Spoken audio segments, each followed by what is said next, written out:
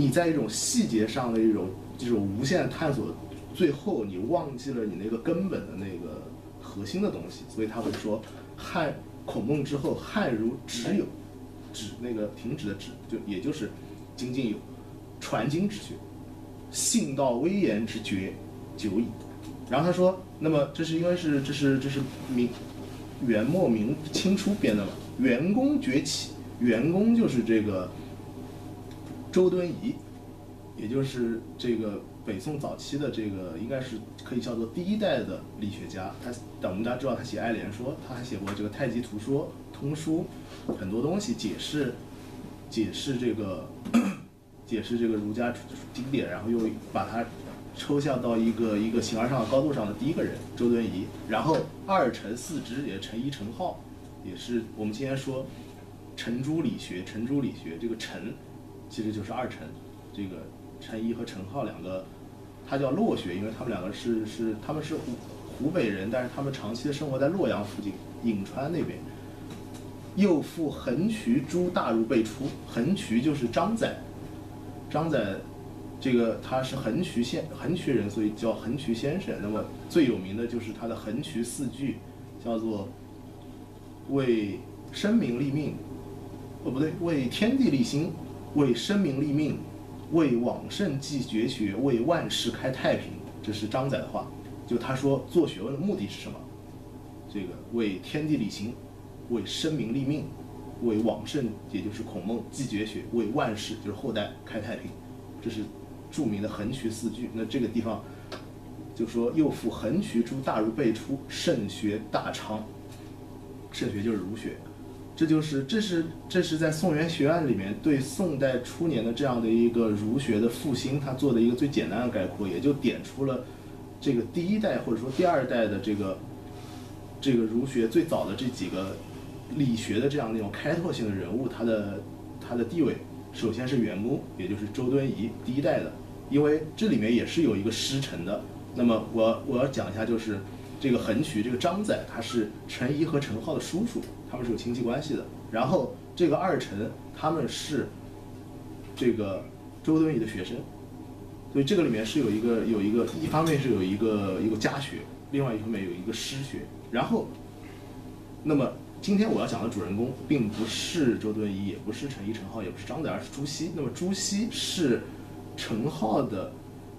三传弟子的学生，也就是说他是这个，哦，陈颐的三传弟子学，他是等于说是陈颐的四传弟子。也就是说，这是有一个非常明确的这个师传关系下来的，所以他这刚才说的这三个人都是北宋的人，而朱熹的话已经到南宋了，那个北面的江山已经都垮掉了，就时间上面也要晚很多。但是一般来说的话，就是从宋代开始，当然不是朱朱熹同代，而是等他去世之后，那么对朱熹的评价一直说他是一个集大成，那就是因为前面他已经有了这样的。一代两代的这样的一个理学家的这样的一种一种传承在那里，那么到了他他一个集大成。然后的话，我下面就是要具体讲一讲朱熹他到底讲过点什么东西。那么朱熹提出他的这样的一个，我今天题目我相信来的各位已经看到，叫做“格物致知”，那么朱学朱熹的理学世界。那么“格物致知”这四个字，毫无疑问的是朱熹的这样整个的治学的核心思想。那么他为什么要提出这个？那也跟当时的这个，首先是跟当时的社会风气它有一定的关系的。那么朱熹自己就说过这样一段话，非常有趣。他说：“自秦汉以来，士之所求乎书者，类以寄送剽窃为功，而不及乎穷理修身之要。”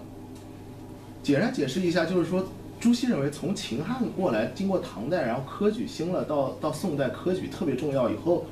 一个士大一个士大夫，一个知识分子，你为什么读书？朱熹说，大多数人就是为了去把书里的那些内容记住，然后你考试时候你可以把它答出来，然后你就可以当官了。所以他说，类以寄送剽窃为功，而不及乎穷理修身之要。你你读书的时候，你忘记了。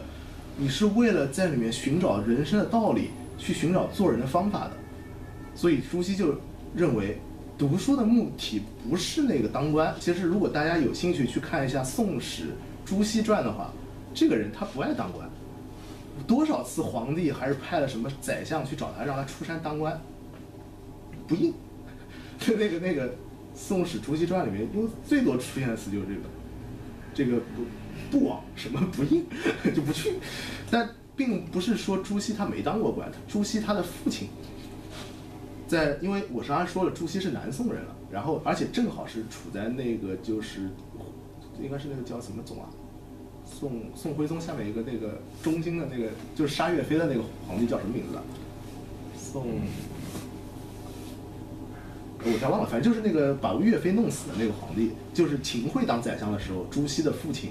他当时是一个御史，那么朱熹的父亲是尚书吉言和谈之弊，然后就被罢官。朱熹也是，朱熹多次是在皇帝问策的时候，他上对，都是讲这个宋金关系的，就讲这个，这个这个杀父之仇不共戴天，这个在他的传记里面是有完整的记载他的那些奏书怎么写的，语言之之强悍，不给皇帝留情面，然后最后有一次第一次皇帝看到他的诏书，大那个那个传记里面写了大怒。皇帝大怒，但是第二次又看到一个同样类似的诏书以后，皇帝还反而被感动了。但那个已经不是，不是那个杀岳飞的皇帝，是后来一个孝宗了，已经。就是说，但朱熹讲话是非常耿直的，他他在他的诏书，他的那个上书里面就直接写，说，皇帝你你身你出生的时候你的性情当然是很不错的，但是你现在被小人蒙蔽了心智。你这个周围全是一帮奸佞，然后他们这个闭塞言路，然后所以你迟早要被他们污染，就这样写的那种意思。这这个你很难想象，可能中国古代的知识分子在给皇帝上书的时候敢敢那样去讲话。但不管这个，我就是说，朱熹认为读书。一定是要跟自己的做人联系在一起的。你读书，你去看那么多圣贤的道理，你是为了最后的目标，不是为了去考取功名或者什么东西的，而是去为了修身。所以他他最有名的那句话：“穷理以治其知，反躬以见其实。”这也是我们今天可能我今天最主要的要讨论的一个一个概念，就是这个东西它到底是什么意思。他说：“穷理以知其知，也就是说，我要去尽量多的了解整个世间万物的这种规律道理，之后反攻以见其实。我要把它反到我自己的生命中去看，我自己的是我自己的行为举止是否合乎于这样一种一种一种大道的运转。那么，我最后我自己可以达到一种善。这是一个。”这其实这句话本身它的逻辑是是有问题的，就是你在穷理以治其知之后，你是否一定能够反攻以见其实，是或者说是否一定要反攻以见其实？这两句话其实从本质上它的内涵是不一样的。穷理以治其知，我们今天简单的话说，它是一种人对一种知性的一种渴望，就是你对智慧的一种渴望，你想知道的更多，甚至说。你可能因此成为一个科学家，因为你想穷理以治其知。但是反躬以见其实，从根本上是一个伦理的要求，是一个道德的要求。而科学是否一定是道德的？这个我觉得，包括今天的这个哲学家在二十世纪以后的哲学家讨论里面，这都是成疑问的。就是说，科学或者说知性，它并不一定把人引向德性的。就理论上，今天我们看是这样，但是朱熹认为。这是可行的，而且不仅朱熹认为是可行的，古希腊的那些前苏格拉底时期的哲学家们也认为是可行的。我们今天都知道，在苏格拉底之前的那些哲学家天天在谈什么？世界的本质是什么？赫拉克利特说世界的本质是火，某个就说世界的本质是水，还有人说世界的本质是数字，是原子。阿伦尼德说是是一，还有人说是其他的什么气，各种。为然后到了苏格拉底的时候，突然来了一句“认识你自己”。为什么？这个逻辑它就是一个，其实我从就可以从这句话里面看出这样的一个逻辑。古希腊的那些前苏格拉底时期的哲学家们，他们在谈世界的本质的时候，他并不是单纯的在谈世界的本质是什么，好像说是火是水是原子是树就完了。他他其实他背后有一个隐藏的目标的，就是说，当我知道世界的本质是什么，当我知道世界的规律是什么之后，我可以更好的去做我自己。所以大家在读西方哲学史的时候，千万不要认为说苏格拉底的那句“认识你自己”是横空出世的一句话。其实这种要求它已经包含在了前苏格拉底时期的那些人的那种想法里面了。而这个这个想法的逻辑其实就是这个逻辑：穷理以知其知，反躬以见其实。所以可以说，在中国的思想史上，最接近于古希腊思想家的想法的人就是朱熹了。然后，而且他也确实去进行了一种形而上思辨，因为就是他要穷理，所以叫格物致知。格物的意思是什么？就是说，我要尽可能的了解，我我用一个特别不恰当的一个海德格尔的词。一个，我要尽可能去了解物的物性，物物体的物体性，烧呃法语叫做烧色态，我也不知道这个词怎么造出来的。这个，但就是说朱熹这个格物的意思，就是你尽可能的向外去了解这个大千世界，去了解这个世界的它的这种它的属性，你可以这样说，然后你去致知，然后最后你去明理，所以叫做理学。你最后是那个理，这个理字，我觉得也是非常有意思的。就是说，古希腊的哲学，如果大家读过柏拉图的《理想国》或者他其他的一些篇章的话，你会知道柏拉图的哲学的根本的一个概念，它叫做 “idea”，中文翻译成理性。也就是这个，柏拉图认为世界的根本的这个存在，在我们这个具体的这个这个世界之上，它有一个理念的世界。而我，比如说。举一个例子，就是这边有一张桌子，但其实首先是有一个是有一个理念的一个桌子，然后这个理念它投射到了这个这个人世间，投射到了工匠的心智里面，他做出了这张桌子，他是以一个理念为原型做出的这张桌子，所以在这个具体的桌子上面，或者说那么多的，这也是桌子，这也是桌子，甚至很多很多这也是桌子，可是最后你有一个桌子的理念，这个东西。柏拉图认为是世界的根本核心，但是一般人认识不到，所以他有一个洞穴隐喻。他说我们这些人都是在一个洞穴里面，背对着前面有个墙，人后面有一堆火把，我们看到的那个世界其实是这个火把从这边映过来以后打在那个洞穴墙壁上的那些影子，所以这离真相那远的不得了了。那当你回过头去。想走出洞穴的时候，外面是一个天光无限的这样的一个阳光明媚的世界，这么强烈的阳光，如果你不是一个哲人的话，它会刺瞎你的双眼，你将什么也看不见。只有那些哲人才有可能说，在这样的一个时候，你真正的顶住那个阳光，去看到你这个洞穴外的这个这个世界。所以，大家都可能都知道的，就是柏拉图说是要哲人王啊，要有哲学家来统治世界啊，幻想。这这肯定自事实上证明是幻想是吧？但他是这样去构思的，就是说他认为世界的真相那个理念不是随随便便能认识到的，你需要有去下大的功夫的。那其实这个跟朱熹这边讲的这个理，它也有非常类似的地方。朱熹认为这个理它是这个是高于高于这个世界，所以它才有思辨的东西。他说，然后我想一下应该读点什么。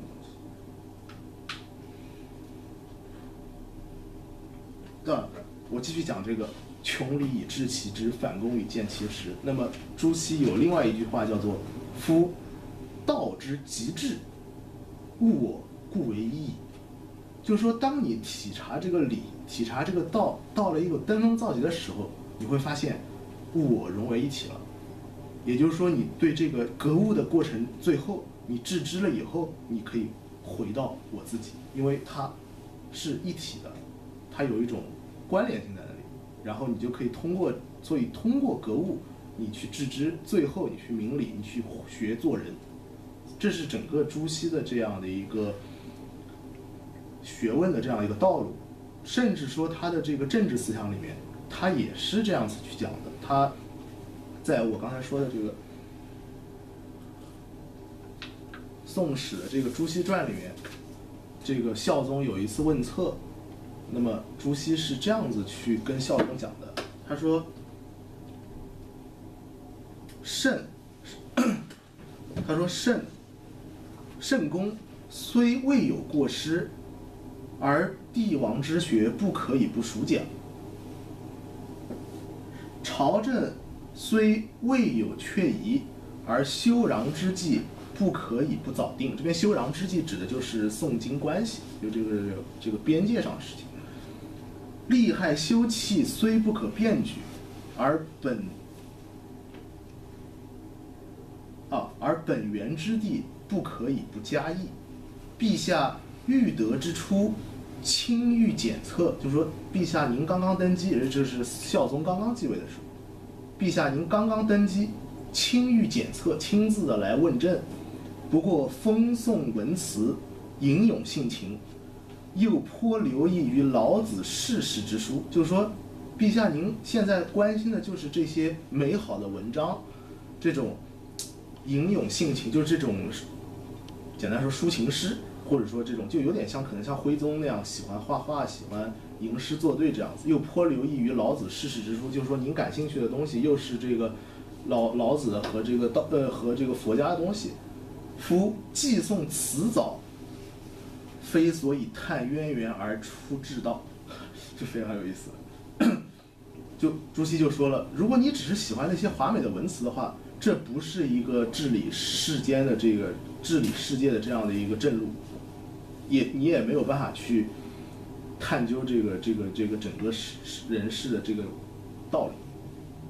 虚无寂灭，非所以贯本末而立大中。虚无寂灭指的是老老子和这个这个这个佛家思想。那么他，朱熹说了，你你去感兴趣这个东西，这不是在这个人世间立足的这这个这个这个这个这个这个道理。非所以贯本末而立大中。帝王之学，必先格物致知，以极夫嗯事物之变，使义理所存。谦息必照，则自然诚意心意诚心正，而可以应应天下之物。所以朱熹说了，格物致知，我们都有，我们我我包括我自己，我原来也认为是朱熹自己的一个做学问的道理。但后来我在做这个演讲准备中，我发现其实他的政治理念也是在这里的。他说：“帝王之学，必先格物致知，以极夫事物之变。”也就是说，你作为一个皇帝。你通过格物致知这样来做学问，你可以去了解到世间整个人情世故的这种这种变迁，使义理所存，谦息必照，最小的那点东西你都看得清清楚楚，则自然心意诚心正，而可以应天下之物。你最后你明白了这些所有的道理之后，天下这种纷纷攘攘这种乱七八糟的事情，你都可以应对自如。这是朱熹给这个孝宗上的这个上的这个诏呃这个这个这个上书里面写的这样的一段话。那么这也其实就可以看出来，就是说他的这个格物致知的这样的一个理念，那么他也同时融合在他的政治观念里面，而且同时的话，他的这种政治观念也是最后是。最后要反攻于剑其实只是这个反攻的人是这个皇帝。你通过这样的一种对世间的这种道理的体察，你最后你会知道如何去应付这些整个事情，而最后你可以做人做得更好。那是这这就是整个的这个其实朱熹的这个逻辑，那就在这里。那么，在这个宋元学案里面，专门有一个肯定毫无疑问的有一个关于朱熹的学案。那么，这个。他就开篇他就写了，朱熹其为学大抵穷理以知其知，反躬与见其实，而以居静为主。居静是一个居住的居，这个恭敬的敬。居静，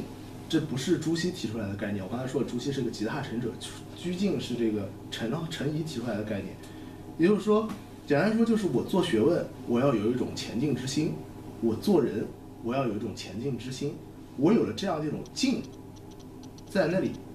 恭敬的这种这种敬畏也好，恭敬也好，这样的一种东西在那里之后，我才有可能去去为学。也就是说，在陈怡看来，居。